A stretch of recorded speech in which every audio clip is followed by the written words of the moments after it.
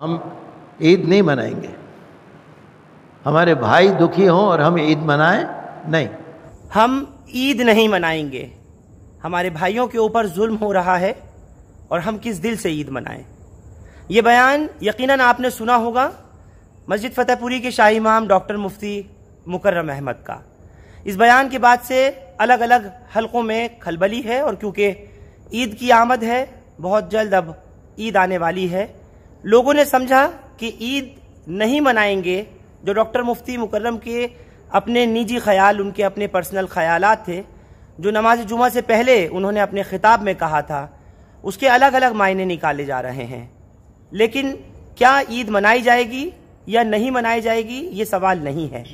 ईद की नमाज़ को लेकर के भी लोगों ने डॉक्टर मुफ्ती मुकर्रम के ऊपर इस बात को देखते हुए सवाल पूछना चाहा है कि ईद हम नहीं मनाएँगे से उनका क्या मकसद और क्या मुराद है। आपका हिंदुस्तान लाइव पर खैर मकदम है मुफ्ती मुकरम साहब। जी शुक्रिया जजाकल्ला आपने बयान दिया है और कहा है कि हम ईद नहीं मनाएँगे। आपके इस बयान के पीछे क्या मकसद है? और क्या ये समझा है लोगों ने कि हम ईद नहीं मनाएँगे का मतलब नमाज़ भी नहीं अदा करेंगे? नहीं इसका ये मतलब नहीं है। नमाज़ अदा करना वो हमारा मजहबी एक अमल है अल्लाह ताला का हुक्म है। रसूल पाक सल्लल्लाहु अलैहि वसल्लम का हुक्म है, वो ईद मनाना नहीं है, बल्कि वो तो ईद की नमाज़ अदा करना है, अल्लाह ताला की इबादत करना है। तो नमाज़ पढ़ना, अल्लाह ताला की इबादत करना, मस्जिदों में आना, ये ईद मनाना नहीं है। ईद मनाने का मतलब यह है कि बहुत अच्छे अच्छे, बढ़िया बढ़िया, खूब नए कपड़े पहनना, मिठाइयाँ बांटना, खुशियाँ मनाना, प्रोग्राम करना, पार्टियाँ करना और ईद मिलन के प्रोग्राम करना, समाजी प्रोग्राम करना, कई लोगों में आदत होती है कि वो ईद मिलन के प्रोग्राम करते हैं, कोई समाजी कार्यक्रम करते हैं गेट टुगेदर करते हैं कि भाई हिंदू, मुस्लिम, भाईचारा, एकता दिखाने के लिए ईद पर प्रोग्राम करते हैं, ताकि सब लोग मिलेंगे, जुलेंगे, एक दूसरे से विश करेंगे, मुबारकबाद देंगे। तो यहाँ मकसद नमाज़ न पढ़ने का नहीं है। हम तो नमाज़ पढ़ेंगे, ज़रूर पढ़ेंगे अल्लाह ताला की इबादत तो जितनी ज़्यादा हो सके वो कम है। मस्जिदों में आएँगे और जैसे हम नमाज़ पढ़ते आए हैं, वैसे ही पढ़ेंगे। बग़ैर किसी खौफ के, बग़ैर किसी परेशानी के अल्लाह ताला की इबादत तो हम जितना कर सकते हैं, करेंगे।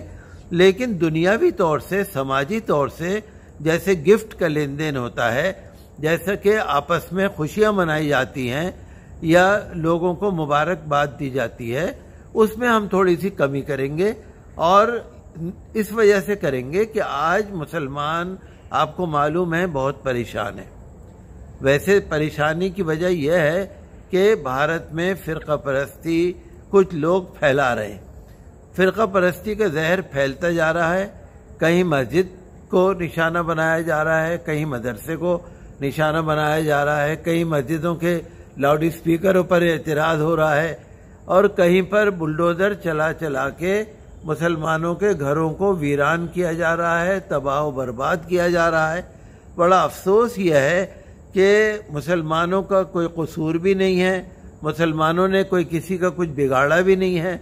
मुसलमान किसी भी मज़हब के मामले में कोई अड़ नहीं निकालते, कोई लड़ाई नहीं करते, किसी पर एतराज़ नहीं करते।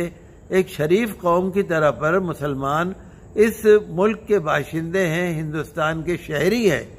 लेकिन पता नहीं क्या वजह है कि अल्लाह की इबादत करना या अल्लाह का नाम लेना भी लोगों को अच्छा नहीं लग रहा। मुसलमानों का कोई कसूर नहीं है। सिर्फ़ ये कसूर है कि वो कलमा पढ़ते हैं, ला इला मोहम्मद रसूलुल्लाह सल्लल्लाहु अलैहि वसल्लम, बस यही उनका कसूर है। तो आजकल आप देख रहे हैं कि हम भी और सब लोग मुसलमान बहुत दुखी हैं। एक दूसरे की खबर सुनते हैं। और ये फितरी बात है, ये इंसानियत है, मानवता है। अगर कहीं पर किसी को कोई तकलीफ़ होती है तो उस तकलीफ़ को बर्दाश्त करना हर इंसान की फितरत है। अगर कहीं किसी का घर लुट जाता है, कहीं किसी की जान चली जाती है, किसी की लिंचिंग हो जाती है, कहीं कोई हमारे मज़हब के नाम पर, जैसे आपने देखा लफ जिहाद का कानून बन गया, कुछ और कानून उल्टे सीधे बना दिए तो मुसलमानों के साथ जिस तरह का बर्ताव, कुछ फ़िरका परस्त लोग, मैं ये नहीं कहूँगा हमारे हिंदू भाई, मैं हिंदू भाइयों को, सिख भाइयों को, किसी भी कम्युनिटी को बुरा नहीं कहता। सब अच्छे हैं, भारत के सारे नागरिक अच्छे हैं। कुछ लोग राजनीति कर रहे हैं। ये उनका राजनीतिक एजेंडा है, ये सियासी मिशन है, वो फिरका परस्ती फैला रहे हैं। और हमें तो खुशी है कि हमारे बहुत सारे हिंदू, सिख ईसाई, दलित और तमाम कम्युनिटीज़ के लोग मुसलमानों के साथ खड़े हो रहे ये भी एक हकीकत है। लेकिन जिस तरीके से अभी आपने देखा, जहांगीरपुरी में एक वाक़ हुआ। जहांगीरपुरी के सी ब्लॉक में रामनवमी के मौके पर खाम खां लोगों ने एक मस्जिद के सामने खड़े होकर डीजे बजाया। वहाँ पर बहुत सारे लोग जमा हो गए। वहाँ पर कुछ एतराज़ के काबिल नारे लगाए। वहाँ पर तलवारें लहराई, वहाँ पर पिस्टल दिखाई, वहाँ पर तरह तरह का हंगामा किया, जुलूस निकाला। हालाँकि पुलिस ने यह कहा, इन्होंने हमसे परमिशन नहीं ली थी। अगर परमिशन नहीं ली थी तो उन सब पे एक्शन होना चाहिए। चलिए, वो तो खैर अलग बात है। लेकिन उन्होंने हिम्मत की, तलवारें दिखाई और एक मस्जिद के आगे वहाँ पर अपना झंडा भी पीला लहराना चाहा और वहाँ पर झंडा भी लगाना चाहा। चलिए वो मामला ख़त्म हुआ दो तीन दिन में हालात नॉर्मल हो गए, लेकिन अफसोस ये हुआ कि बुलडोज़र वहाँ पहुँच गया और जिस मस्जिद के आगे, जिस कॉलोनी में, जिस जगह पर वो शरारती लोग जुलूस लेके गए थे, पुलिस की बगैर परमिशन के तो वहाँ पर जाकर बुलडोजर ने अपना काम करना शुरू कर दिया। न कोई नोटिस न कोई कार्रवाई और आपने देखा हिंदुस्तान लाइव में बहुत तफसील के साथ उसको दिखाया गया। और माशाल्लाह आप देखते हैं कि जो भी ऐसे इशू होते हैं कि जहाँ पर कोई मुसलमानों से जुड़ा हुआ या समाज से जुड़ा हुआ कोई भी अहम इशू होता है तो हिंदुस्तान लाइव फरहान याया उस पर सबसे पहले आपके सामने आते हैं। आपने सब देखा होगा। तो जब ऐसे हालात हैं, देखिए रमज़ान शरीफ है, देखिए रोज़े हैं, देखिए लोग रातों को जागते हैं। अब बुलडोज़र जिस जगह पे जाता है कॉलोनी में ज़्यादातर तरीका यह है, दस बजे, ग्यारह बजे पुलिस सब लोग पहुँचते हैं। लेकिन जहांगीरपुरी में नौ ही बजे पहुँच गया, आठ बजे पहुँच गया। तो ये लगता है ना कि कुछ खास मुसलमानों से कुछ लोग नफरत निकालना चाह रहे हैं। और वहाँ जाके काम करना शुरू कर दिया, ढाना शुरू कर दिया। आप बताइए किसी मुसलमान का या किसी का भी अगर घर तोड़ दिया जाए, आप बताइए कितना नुकसान हो जाता है। घर में बूढ़े लोग होते हैं, बच्चे लोग होते हैं, दूध पीते बच्चे होते हैं, बीमार होते हैं विद्यार्थी होते हैं स्टूडेंट्स होते हैं, औरतें होती हैं। बेचारे परेशान लोग होते हैं, मजबूर लोग होते हैं, रमज़ान के रोज़े हैं, कोई नोटिस नहीं है, कोई कार्रवाई नहीं है। कि साहब एनक्रोचमेंट कर रखा है इन्होंने, अतिक्रमण कर रखा है। तो अब हिंदुस्तान दिल्ली के अंदर, सिर्फ़ दिल्ली के अंदर 731 कॉलोनियाँ बताई जा रही हैं, जहाँ पर एनक्रोचमेंट है, जहाँ पर इलीगल कंस्ट्रक्शन है। लेकिन 731 में उसी जहांगीरपुरी के इलाके में बुलडोजर गया। कोई नोटिस नहीं, कोई कार्रवाई नहीं। वो ये जुल्म है, जुल्म की भी हद है।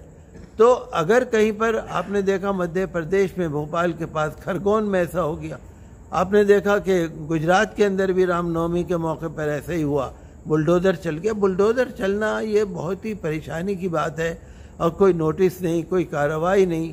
और ख़ाली मुसलमानों को निशाना बनाना, उससे ऐसा लगता है कि कुछ लोग अपनी फ़िरका परस्ती को भड़ास निकालना चाह रहे हैं।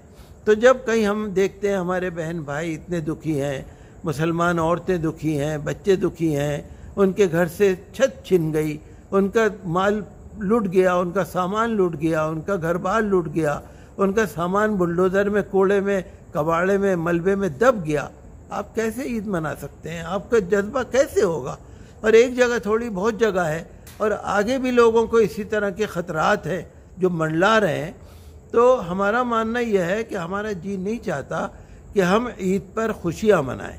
गिफ्ट का लेन देन करें, प्रोग्राम करें, ईद मिलन करें, लोगों के अंदर ज़्यादा हम उत्साह दिखाएँ, खुशी दिखाएँ। ठीक है, नमाज़ पढ़ना वो तो हम नमाज़ पढ़ेंगे, दुआ करेंगे, और अल्लाह ताला ज़रूर उसका अजर देगा। अपने लिए भी दुआ करेंगे, अपने देश के लिए भी दुआ करेंगे। मुसलमानों ने हमेशा अपने देश से प्रेम किया है और मुसलमान तो मरने के बाद भी इसी देश में, इसी धरती में दफन होते। कहीं जाएँगे नहीं वो। उन्हें तो ज़िंदा भी रहना है इसी धरती पर, मरने के बाद भी इसी धरती में जाना है। मुसलमानों जैसा देश प्रेम किसी का नहीं है। लेकिन आजकल जो कुछ मुट्ठी भर फ़िरका परस्त लोग मुसलमानों को निशाना बना रहे हैं और कहीं कहीं सरकारें भी अनदेखी कर रही हैं तो उसकी वजह से मुसलमान बहुत दुखी है और इसकी वजह से हमारा जी नहीं चाहता कि हम अच्छे अच्छे कपड़े पहने और गिफ्ट का लेन देन करें और कहीं समाजी प्रोग्राम करें। लिहाजा मैंने ये अपील की थी जुमे के दिन। जुमे की नमाज़ से पहले जो मेरा खिताब होता है, मैंने उसमें ये लोगों से कहा था कि ईद पर ख़र्चे ज़्यादा न करें, अपने पैसे बचाएँ। पैसे बचाकर गरीबों की मदद करें। जहाँ भी कोई परेशान हो, अल्लाह ताला से दुआ करें। जो परेशान हाल है, उनके दुख सुख में शरीक हों, इसका भी अल्लाह ताला अजर देगा। और खुशी मनाना, न मनाना, ये समाजी मामला है। लेकिन नमाज़ पढ़ें, दिल लगाकर दिल लगाकर दुआ करें इन हालात बदलेंगे, अल्लाह ताला की मदद आएगी और इसका कोई हल निकलेगा। और हम यकीन करते हैं कि हमारी भारत सरकार भी इन हालात में गौर करेगी कि मुसलमान भी एक भारत के नागरिक है उनके साथ इंसाफ होना चाहिए, किसी भी तरह का अत्याचार या जुल्म नहीं होना चाहिए। बिल्कुल, डॉक्टर मुफ्ती मुकर्रम ने साफ़ तौर पर कहा कि इनका मकसद ईद नहीं मनाएँगे, का जो बयान दिया है, उसको ये लेकर के नहीं था कि ईद की नमाज़ अदा नहीं करेंगे। जिन लोगों ने इस बयान का अलग मायने निकाले हैं या इसका कुछ अलग सोच बनाई है, वो ऐसा नहीं है। जो ईद की नमाज़ है, वो हसब मामूल जिस जिस मस्जिद में जहाँ जैसा ऐलान किया जाएगा, चाहे ईदगाह में या शाही जामा मस्जिद में या फिर मस्जिद फतेहपुरी और दूसरे मकाम पर, वो बिल्कुल उसी तरह से होगा जैसे होता आया है। डॉक्टर मुफ्ती मुकर्रम की या आज के हालात को लेकर के जो कुछ हो रहा है मुसलमानों पर जुल्म और ज्यादतियाँ, उसको लेकर के एक राय थी जो आवाम के साथ में उन्होंने नमाज़ जुमा से पहले अपने खिताब में शेयर किया था, साझा किया था। ये बिल्कुल नहीं कहा कि ईद नहीं मनाएँगे, का मकसद ये नहीं कि नमाज़ अदा नहीं करेंगे। नमाज़ अपनी जगह है जो ईद फित्र की अदा की जाएगी और उसके अलावा जिन खुशियों के लिए, यानी जिस तरह से ख़रीदारी करने को लेकर, या नए कपड़े को लेकर, या ईद मिलन को लेकर, या और दूसरे जो ईद पर खुशी का इजहार किया जाता है, वो उन बहन भाइयों के ऊपर ये जो जुल्म हो रहे हैं, या बुलडोज़र की कार्रवाई हो रही है, उन तमाम चीज़ों को देख करके कहा है कि हम ईद नहीं मनाएँगे।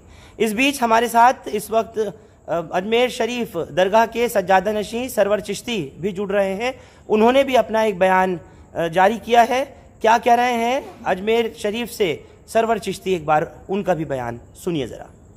अस्सलाम वालेकुम मैं सैयद सरवर चिश्ती अजमेर शरीफ से तमाम मुल्क भर के इमाम हजरात से मैं ये अपील करता हूँ कि जुम्मे के रोज़ मुल्क में हो रहे अफरा तफरी के ख़िलाफ़ दुआ खैर करें अमन अमान की दुआ खैर करें। लेकिन उसके साथ साथ इस गवर्नमेंट को भी चताएँ कि मुसलमान कब तक आपकी जुल्म ज्यादती बर्दाश्त करेगा।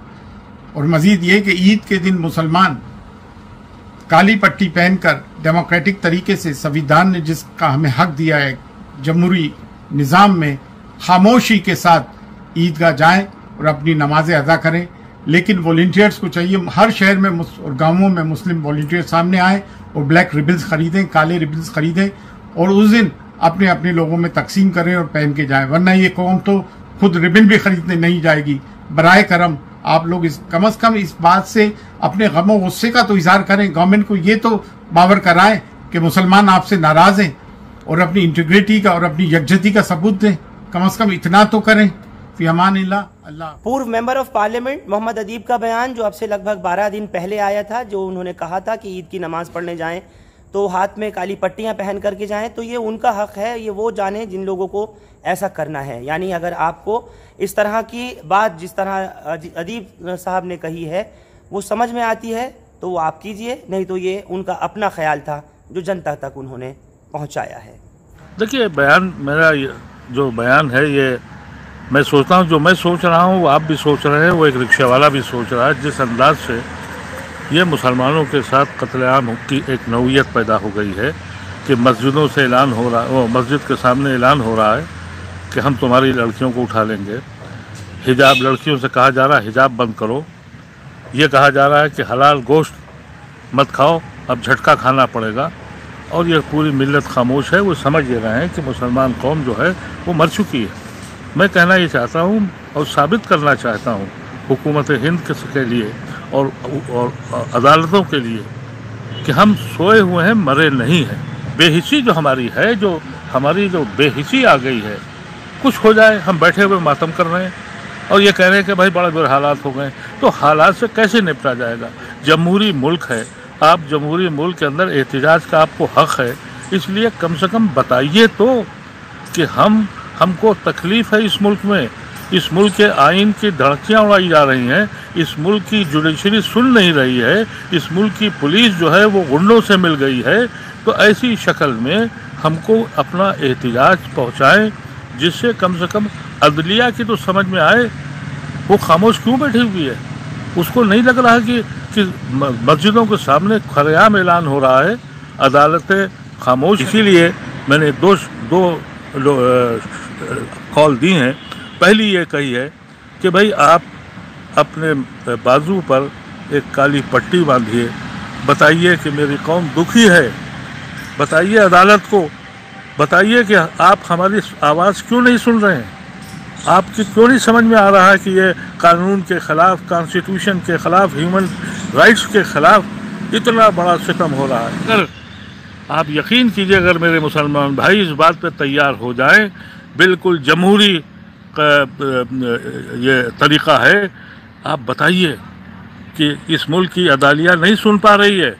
अगर आपने एक पट्टी बाँध ली आप यकीन कीजिए पूरी दुनिया की यह खबर बन जाएगी और अदालत कम से कम ये सोचने लगेगी कि हाँ ये क्या हो रहा है। सिर्फ़ ये नहीं है मेरे अज़ीज़। बस ये है कि तुम कत्ल करते रहो हम गर्दनें देते रहें। तुम गालियाँ देते रहो हम सहते रहें। तुम मारते रहो हम पिटते रहें। अगर ये ज़िंदगी का मकसद है और ये कहने की भी आपको हिम्मत नहीं है कि तुम जुल्म कर रहे हो आपसे तो ये कहा गया है कि जुल्म करने वाले का हाथ पकड़ लो। रोको उसको क्यों जुल्म कर रहा है? तो जमहूरियत में सबसे बड़ा जो आपके पास है वो जमहूरी निज़ाम में आप काला पट, काली पट्टी पहनिए और बताइए इनको। आप लोग हमारे साथ इस खबर पर जुड़े बहुत बहुत शुक्रिया। हिंदुस्तान लाइव फरहान या यूट्यूब पर सब्सक्राइब कर सकते हैं और क्लिक कर सकते हैं बेल आइकन। हमारी खबर की पहली नोटिफिकेशन के लिए। फेसबुक पर हमारा पेज हिंदुस्तान लाइव फरहानिया या फॉलो और लाइक कर सकते हैं। बहुत बहुत शुक्रिया साथ जुड़ने के लिए। Thank you for now